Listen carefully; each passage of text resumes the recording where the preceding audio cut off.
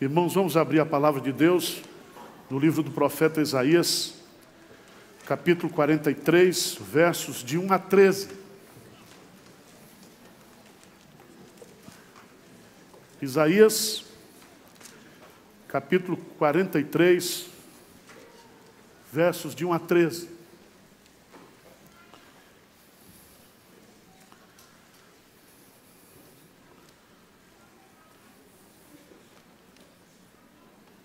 Eu quero falar com você nesta noite sobre o seguinte tema: Você é precioso aos olhos de Deus.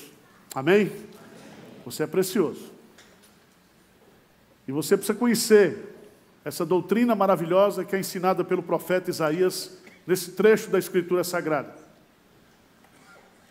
Precisamos conhecer Deus.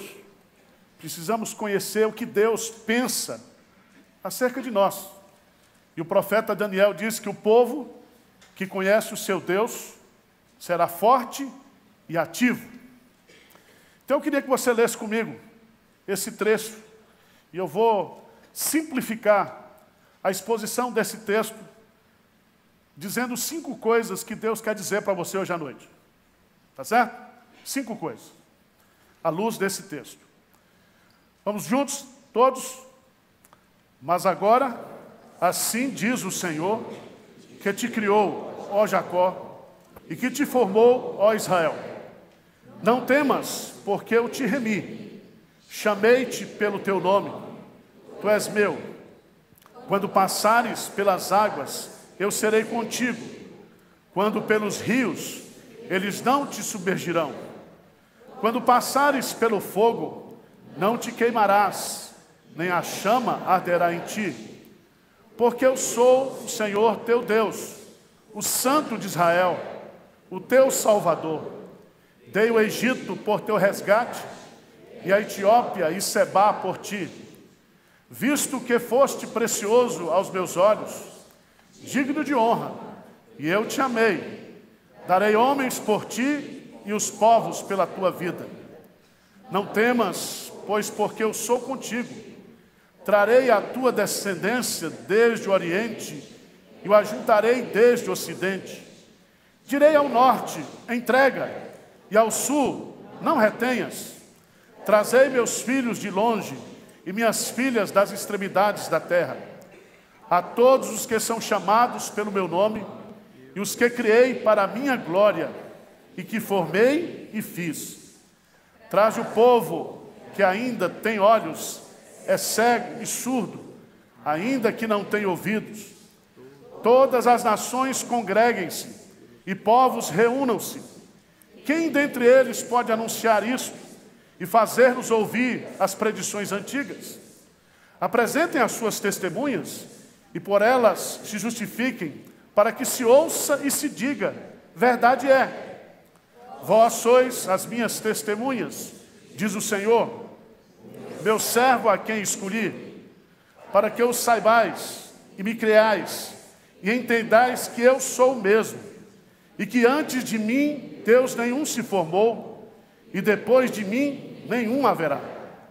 Eu, eu sou o Senhor, e fora de mim não há Salvador.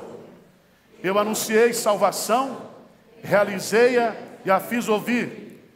Deus estranho não houve entre vós, Pois vós sois as minhas testemunhas, diz o Senhor, e eu sou o seu Deus. Ainda antes que houvesse dia, eu era, e nenhum há que possa livrar alguém das minhas mãos. Agindo eu, quem impedirá? Senhor Deus, nós estamos diante da tua palavra santa e eterna. E tu sabes, ó Deus, o quanto nós precisamos dessa palavra, ela é a nossa vida. Ela é o nosso alimento, o nosso sustento. E agora, Pai, fala ao coração do teu povo, que o teu Santo Espírito possa nos guiar agora na instrução, na exposição, na meditação da tua palavra, e que essa palavra encha a nossa mente, o nosso coração, de esperança, de encorajamento, de deslumbramento pelo Senhor, esse Deus grandioso, esse Deus que nos ama com amor incompreensível, esse Deus que é eterno, Louvado seja o teu nome, Senhor. E glorifica Jesus aqui nesta noite. falando ao coração dos teus filhos. Esta é a nossa oração, este é o nosso pedido, em nome de Jesus. Amém. Meus prezados irmãos, o povo de Israel estava completando os 70 anos do cativeiro babilônico. E o Deus que levou o povo para a Babilônia é o mesmo Deus que está trazendo o povo de volta para a terra. E havia no coração do povo um questionamento. O povo estava pensando assim: depois desses 70 anos de cativeiro, Deus ainda é o Deus de Israel? Depois desses 70 anos de cativeiro, será que Deus ainda é o nosso Deus? Será que Ele ainda se importa conosco? E se você observar, no texto de Isaías capítulo 42, dos versos 18 a 25, que mesmo no cativeiro babilônico, sob a disciplina do povo, o povo continuava rebelde, o povo continuava duro de coração, o povo continuava cego, surdo, mas nós somos de Deus, irmãos, não pelos nossos méritos, nós somos de Deus por causa da graça de Deus. E a ideia-chave desse texto está no versículo 4. Veja que a ideia-chave está aí, na exposição do texto, na compreensão do texto. No versículo 4 diz assim: Visto que foste precioso aos meus olhos.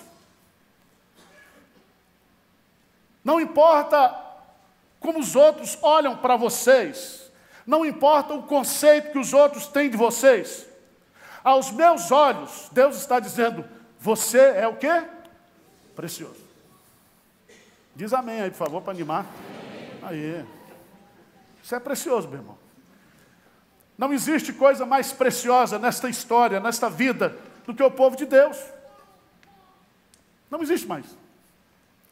E aí, os exegetas, interpretando esse texto, diz que esse texto se aplica historicamente para Israel, mas ele tem uma conotação também para a igreja de Deus, para a igreja do Novo Testamento.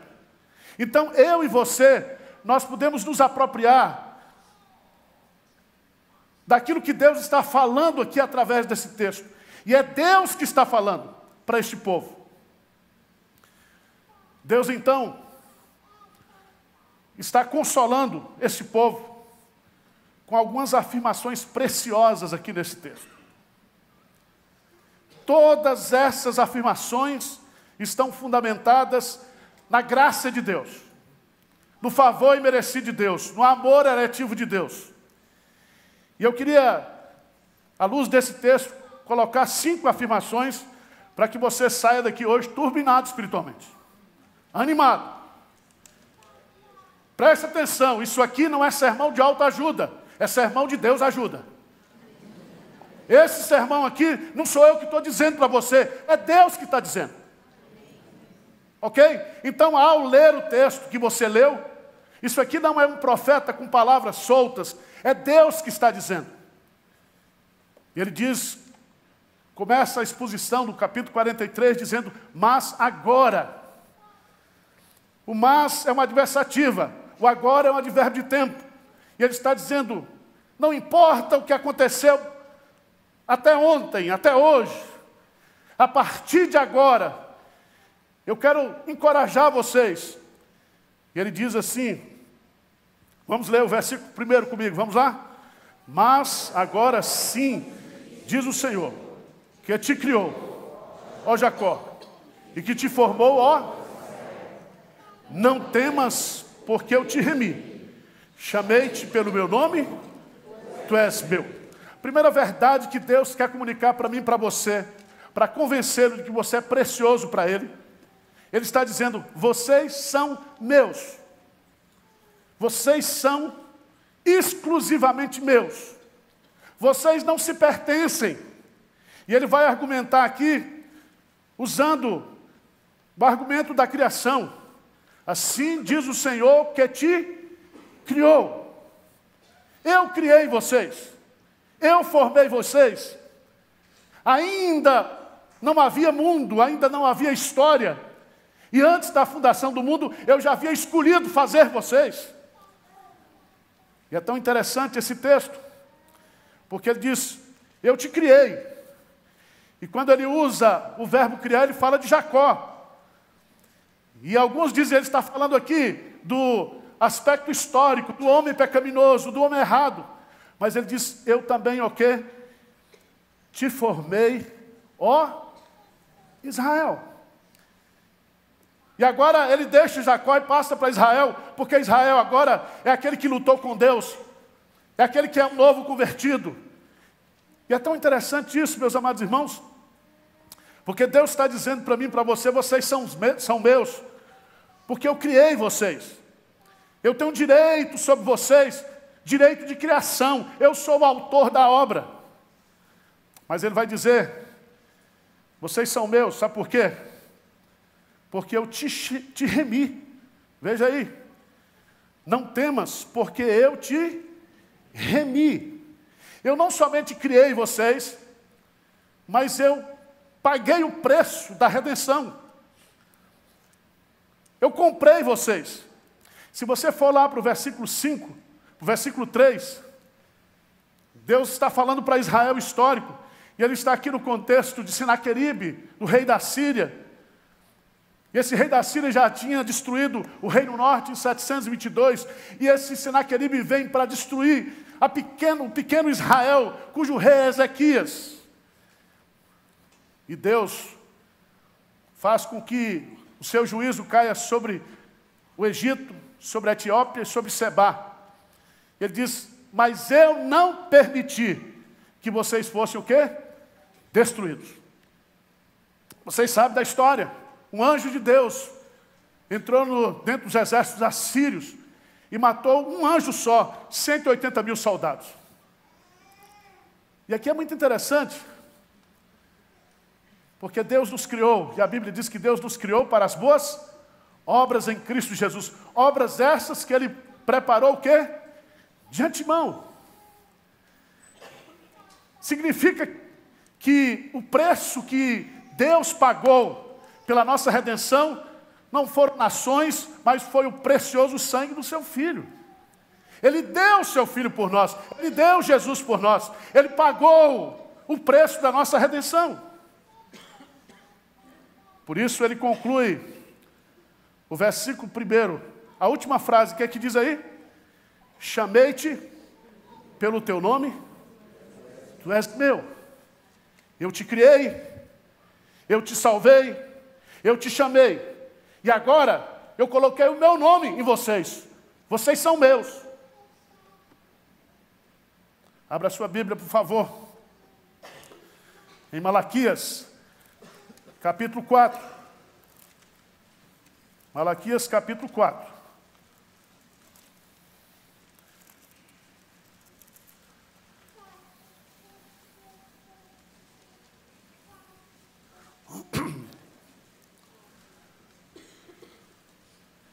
Leia comigo, capítulo 3, versículo 17 e 18. Malaquias 3, 17 e 18. O que, é que diz aí? Vamos ler uma só voz. O que, é que diz aí? Eles serão para mim particular tesouro naquele dia que preparei. Diz o Senhor dos Exércitos: Poupa-los-ei como um homem poupa a seu filho que o serve.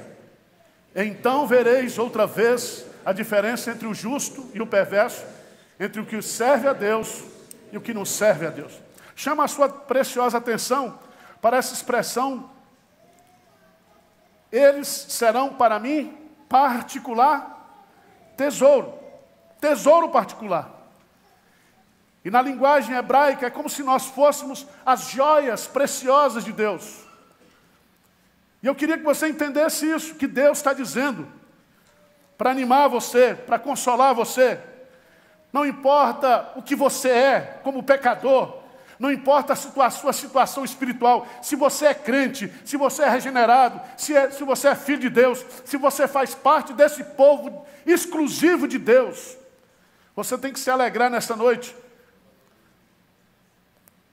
Porque Deus está dizendo para mim e para você: vocês são meus. Vocês não valem nada, mas eu te amo. Vocês não prestam, mas eu te amo. Vocês são meu. Segunda verdade que ele vai nos ensinar está no versículo 2. Vocês são meus. Mas no versículo 2, ele diz assim: Vamos ler juntos.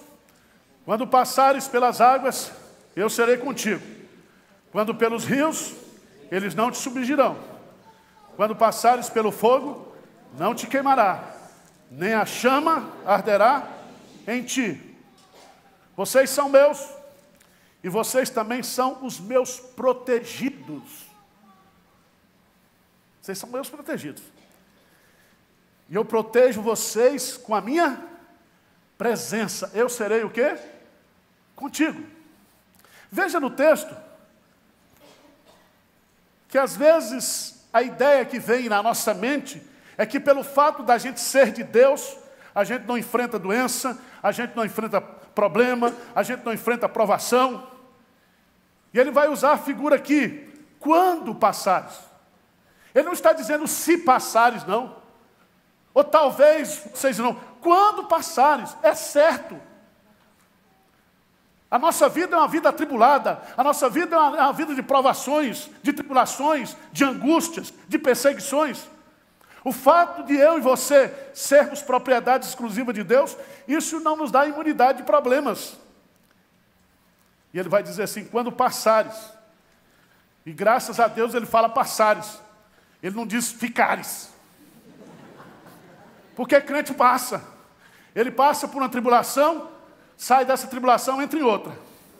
E vai passando. Mas ele não fica da tribulação. E ele usa três figuras aqui: a figura das águas, a figura dos rios, a figura do fogo. Essas três figuras estão no imaginário de Israel, no inconsciente coletivo. Quando passares pelas águas, e aí o povo podia lembrar da passagem do Mar Vermelho. Quando passares pelos rios, não tinha ponte. Mas antes de entrar na terra prometida, eles passaram pelo Jordão. Quando passares pelo fogo, talvez aqui a lembrança daqueles jovens, Sadraque, Mesaque e Abideno, que foram jogados na fornalha acesa. E quando eles eram jogados ali, quem é que está com eles lá? Aparece um quarto homem. A semelhança, o quê? Do Deus, do Filho do, de Deus, que era Jesus que estava com eles. E aqui você tem que entender, meu irmão, Talvez você esteja passando por um problema de saúde, talvez você esteja passando por um problema difícil na sua vida, mas Deus está com você. Você está nas mãos de Deus, você está nos braços de Deus, e ninguém pode arrancar você das mãos de Deus. Ele diz aqui, Quando passares pelas águas, eu serei contigo. Quando pelos rios, eles não o quê? Você não vai morrer de tribulação. Pode ter certeza disso. Quando passares pelo fogo, não te queimarás, nem a chama o quê? Arderá em ti. Significa você está protegido. Você está sob a minha proteção. E a melhor interpretação desse texto é o cântico de vitória que Paulo coloca lá. Se Deus é por nós, quem? E Paulo começa a dizer, porque estou bem certo, que nem angústias, que nem tribulações, que nem sofrimentos, nem pessoas, nem altura, nem profundidade, nem distância, nada poderá nos separar do amor de Deus que está o quê? Em Cristo Jesus. Louvado seja Deus por isso. Porque o povo era ruim, o povo estava na Babilônia, mas Deus nunca abandonou o seu povo. Deus jamais abandonará você, meu irmão. Se você é de Deus, você está nas mãos dele. Terceira lição. Terceira lição está no versículo 3. Vamos ler o versículo 3. O que é que diz? Eu sou o Senhor o Santo de Israel, o teu Salvador, dei o Egito por teu resgate e a Etiópia Seba por ti. Vocês são meus, Vocês são os meus protegidos, meus queridinhos. Mas vocês também são o povo da aliança. Eu tenho uma aliança, eu tenho um compromisso com vocês. E esse compromisso é eterno, essa aliança é eterna. E essa aliança está firmada no sangue de Jesus, é a nova aliança. E é tão bonito isso, irmãos, porque diz: Porque eu sou o Senhor, mas eu não sou o Senhor independente, eu sou o Senhor, mas eu sou o quê? O teu Deus. Eu sou o Deus dos teus pais. E é tão bonito isso aqui, porque ele vai usar, porque eu sou Yahvé, teu Elohim, o Kadosh de Israel, o teu Goel, o teu Salvador. Veja que ele usa duas expressões aqui. Ele está dizendo: Eu não posso abandoná-los, eu não posso destruí-los porque eu tenho um compromisso, uma aliança perpétua com vocês. E para você entender isso, veja no versículo 4. Ele diz: Visto que foste pre precioso aos meus olhos, digno de honra, e eu te amei. Darei homens por ti e os povos pela tua vida.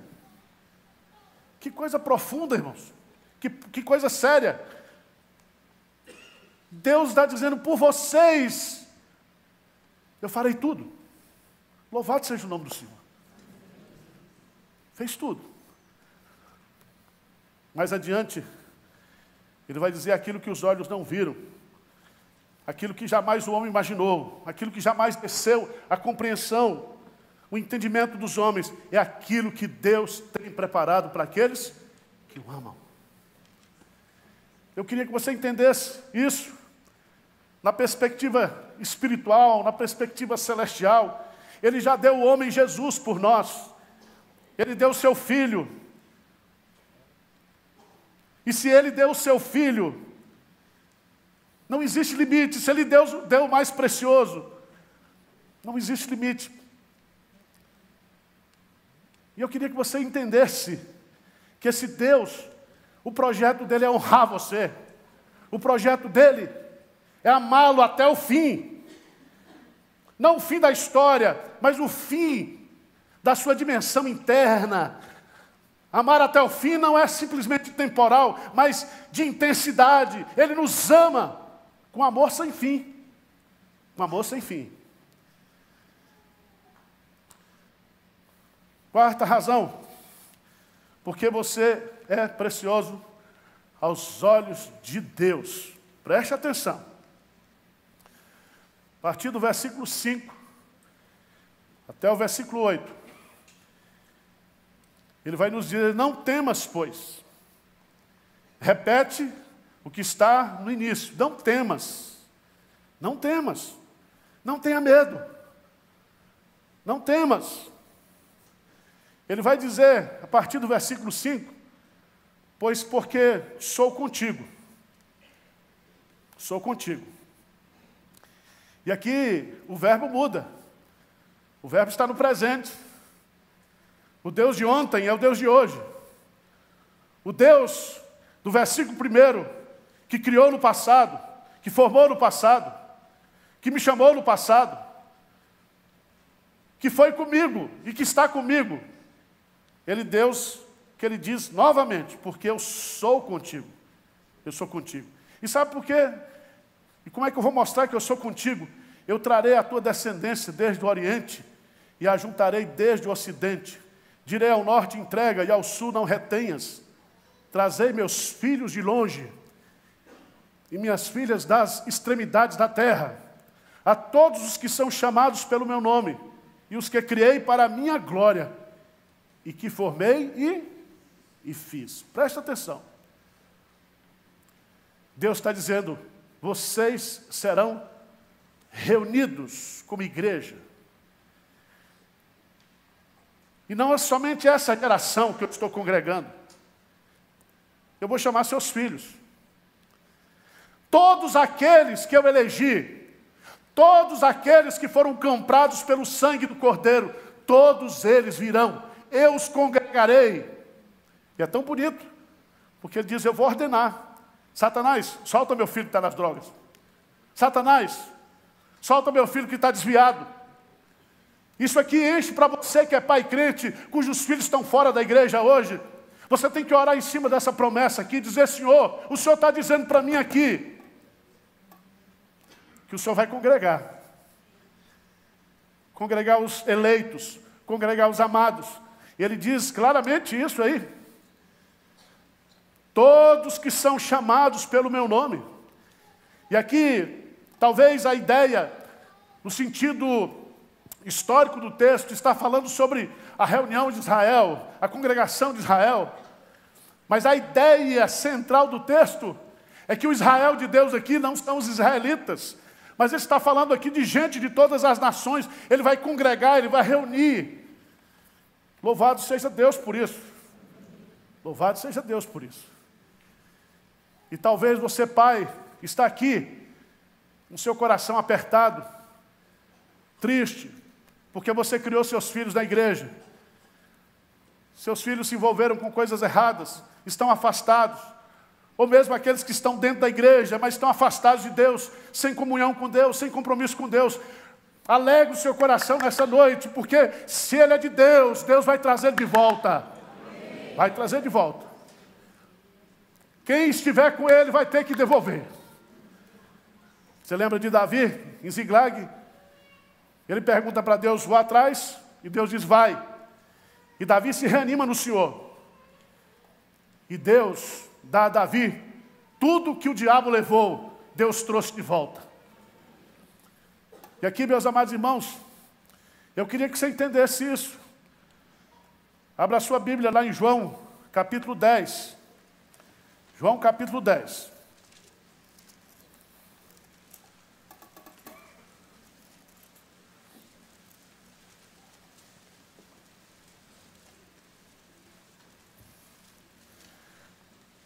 Versículo 15 diz assim: Assim como o Pai me conhece, a mim, e eu conheço o Pai, e dou a minha vida pelas ovelhas. Ainda tenho outras ovelhas, não deste aprisco, não de Israel. Ovelhas que estão esparramadas, desviadas. Ovelhas que ainda nem têm consciência de que são ovelhas, mas eu já morri por elas, eu já dei a minha vida por elas. E nenhuma ovelha pela qual Cristo morreu vai se perder. Ele vai trazer de volta. E ele diz aí claramente, claramente, a mim me convém o quê? Conduzi-las. Elas ouvirão a minha voz. Então haverá um rebanho e um, e um pastor. Louvado seja Deus por isso. Mas em quinto lugar, Você é precioso para Deus. Porque vocês são meus, diz o Senhor. Porque vocês são os meus protegidos. Vocês são preciosos, porque eu tenho um, um compromisso, uma aliança eterna. Eu tenho um vínculo eu tenho um testamento que está juridicamente selado pelo sangue do mediador, que é Cristo Jesus, e eu não posso deixar de abençoá-los. Eu vou reunir vocês. Eu vou trazer vocês.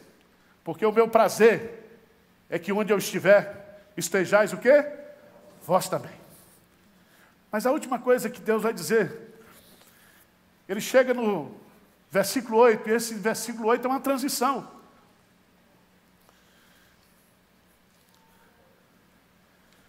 Porque esse versículo 8, ele vai encerrar o que ele está afirmando a partir do versículo 5.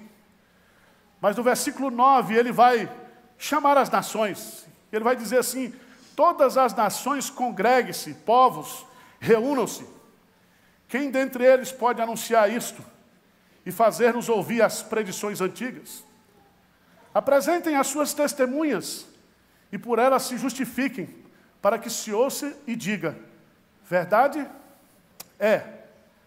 Deus está dizendo assim: vamos fazer o seguinte: reúnam todas as nações, e todos os deuses das nações, os ídolos das nações. E aí eu quero questionar: qual é a nação que tem um Deus como eu? E aí ele vai fazer uma quinta afirmação preciosíssima. Lê comigo, no versículo 10. O que, que ele diz aí? Vós sois as minhas testemunhas, diz o Senhor. Preste atenção. Vocês são preciosos para mim, sabe por quê? Porque vocês são as minhas testemunhas. O que eu sou e que eu faço, vocês vão viver e vão dizer, e vão proclamar. Porque testemunha é alguém que vê. Por isso que, que Pedro diz lá no Sinédrio: nós não podemos deixar de falar daquilo que temos visto e ouvido. E aqui, meus amados irmãos, aqui tem uma aula de teontologia. Deus vai fornecer o conteúdo. Olha, eu vou dar para vocês o conteúdo do testemunho. Vós sois as minhas testemunhas, diz o Senhor o meu servo a quem escolhi, para que os saibais e me creais e entendais que eu sou o mesmo. E que antes de mim, Deus nenhum se formou, e depois de mim, nenhum haverá. Preste atenção, Deus está dizendo assim: só existe um único Deus. Esse Deus sou eu. Eu sou um Deus pré-existente. Antes de existir todas as coisas, eu já era. Quando todas as coisas chegarem ao fim, eu continuo sendo. Eu sou o que sou. Eu sou o Deus autoexistente, eu sou o Deus pré-existente, eu sou o Deus que tudo que existe, existe por causa de mim. Você já pensou no tamanho do seu Deus? E você está com esse probleminha aí, chorando, chorando, desesperado, Deus se esqueceu de mim, Deus desamparou de mim, e Deus está dizendo: Eu sou o Deus de vocês, você é precioso para mim, com doença, com pecado, com problema, do jeito que você estiver, você é meu, e você é precioso para mim. E você, para de resmungar, para de lamuriar, para de maldizer, começa a dizer para as pessoas o Deus que você tem. Sou Deus. O único que existe. Antes de mim não existia, depois de mim não existirá. Eu sou Deus único e verdadeiro. Ele vai reafirmar isso no versículo 11. Reafirmar isso. O que é que ele diz aí? Eu sou o Senhor e fora de mim não há. Você tem que dizer que eu sou o Criador que eu sou Elohim, Yahvé Elohim. Mas eu quero que vocês digam também que eu sou o Salvador. Não há salvação em nenhum outro, porque debaixo da terra só há salvação no nome, e esse nome é, é Jesus. E aqui, meus amados irmãos, ele vai dizer no versículo 12: não foram os ídolos, não foram os deuses pagãos, mas eu, eu, Deus, anunciei salvação. Ele diz: Eu vou salvá-los. Mas eu não somente anunciei, eu realizei salvação. Eu a fiz, ouvi. Há uma sequência. Há uma sequência. Eu anunciei, eu disse que ia fazer, eu fiz, realizei-a, mas não somente isso. Eu transmiti para vocês que existe uma salvação. E a fé vem pelo ouvir, e ouvir o quê? A palavra de Deus. E aí, meus amados irmãos, ele volta a dizer e a repetir: vocês são preciosos para mim, porque a minha reputação, o meu conceito, aquilo que eu sou, será conhecido entre todos os povos, porque vocês são minhas o quê? testemunhas. Pois vós sois as minhas testemunhas, diz o Senhor. Eu sou Deus. E ele termina colocando dois atributos que lhe pertencem. Ele diz: ainda antes que houvesse dia, eu, eu era. Eu era. Ele está falando da sua eternidade, da sua infinitude. Irmãos, não existe ninguém igual a Deus. Ele é incomparável. A sua glória é intransferível. E nós precisamos compreender, através da ajuda do Espírito Santo, através do, da, do estudo, da meditação da palavra, a grandeza do nosso Deus, a grandiosidade do nosso Deus. Mas ele vai colocar uma coisa para fechar o seu argumento. Ele diz: Olha, e nenhum há que possa livrar alguém das minhas, agindo eu, quem impedirá? Tudo está nas minhas mãos. Tudo está nas minhas mãos. E ninguém há que possa livrar alguém das minhas mãos. O ímpio está nas mãos de Deus, a história está nas mãos de Deus. E ele diz, no argumento a fortiori, ele diz: agindo eu, quem é que vai impedir? Se tudo está nas minhas mãos, no céu está o nosso Deus e tudo faz como lhe agrada. Bem sei que tudo podes, e nenhum dos teus planos pode ser o quê? Frustrado. Agindo eu, quem impedirá?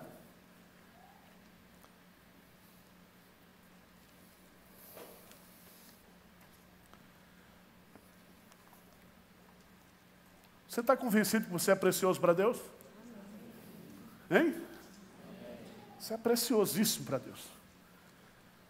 Deus está dizendo para você nessa noite: vocês são meus vocês são os meus protegidos. Para os outros, a lei, mas para você é a graça. É? Vocês são preciosos. Vocês são o povo da aliança. Eu tenho um compromisso com vocês. Eu tenho que fazer porque eu estou comprometido. Eu tenho promessas. Eu prometi a Abraão, eu prometi a Jacó, eu prometi a Isaac, ou a Isaac e a Jacó, eu prometi a José, eu prometi a, a Moisés, a Josué, eu prometi a Elias. Eu estou comprometido. Eu prometi a Jesus, o meu filho. E o constituí sacerdote. E ele entrou e fez o sacrifício da nova aliança. E comprou vocês. E redimiu vocês. E eu estou com essa aliança eterna. E essa aliança ela é irrevogável. Eu não tenho como. Não tem como. Por isso que você, quando observa as orações dos crentes no Antigo Testamento, quando eles estavam em apuro, sempre eles oravam reivindicando o quê? aliança de Deus. aliança de Deus. Vocês serão congregados por mim. Vou reunir todo mundo. Está meio disperso, tem filho desviado, tem ovelha rebelde, tem ovelha manca, tem ovelha que está surda, mas eu vou atrás delas. E eu vou, convém a mim o quê? Congregá-las. Mas eu quero dizer para vocês que vocês são minhas testemunhas. Vocês têm a obrigação de dizer para as pessoas quem é o Deus de vocês. Quem é o Deus de vocês? Os anjos queriam isso. Os arcanjos queriam isso. Mas Deus deu para nós que somos vasos de barro, mas que dentro de nós nós temos o tesouro do conhecimento desse Deus. Louvado seja o nome do Senhor. Curve a sua cabeça, meu irmão. Fala com Deus.